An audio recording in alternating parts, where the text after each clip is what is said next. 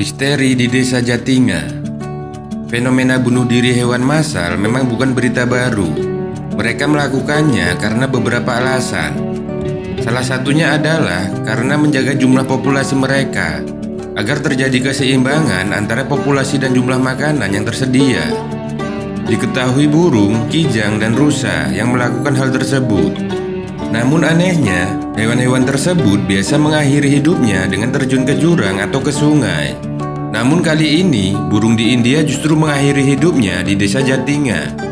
Sebuah desa di India bernama Jatinga menjadi saksi kejadian misterius yang berkaitan dengan kematian ratusan burung. Pada bulan September hingga November, ketika matahari terbenam, ratusan burung dari berbagai jenis datang ke Jatinga dengan sangat cepat. Burung-burung itu lalu menabrakkan tubuhnya dengan keras pada bangunan atau pohon hingga mati. Fenomena ini terjadi berkali-kali dengan penjelasan yang belum pasti. Desa Jatinga sebenarnya desa yang masih asri dan menjadi tempat banyak spesies burung untuk istirahat dan migrasi.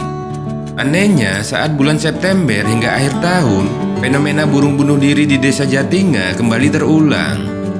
Menurut Anwaruddin Kodri dari Asam, Peristiwa ini bukanlah bunuh diri, tetapi karena terganggu dampak buruk dari elektromagnetik listrik dan lampu di desa tersebut. Namun hal itu belum ada bukti nyata, dan hal misterius ini berlanjut hingga sekarang.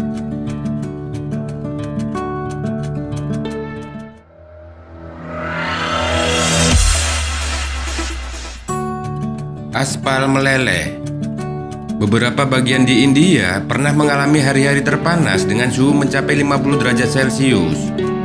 Saking panasnya, aspal di Gujarat meleleh, membuat warga kesulitan untuk melintasinya. Dalam video yang diunggah media TV NDTV yang dikutip The Independent, warga terlihat sulit menyeberang jalan karena alas kaki mereka lengket di aspal yang meleleh. Seorang wanita terlihat terjatuh karena kakinya sulit terangkat dari aspal. Badan Meteorologi India memperingatkan gelombang panas sangat berbahaya karena menyebabkan dehidrasi dan sengatan panas atau heat stroke. Ratusan orang telah meninggal dunia di India saat suhu panas dan sekitar 400 petani bunuh diri karena tanaman mereka kering dan gagal panen.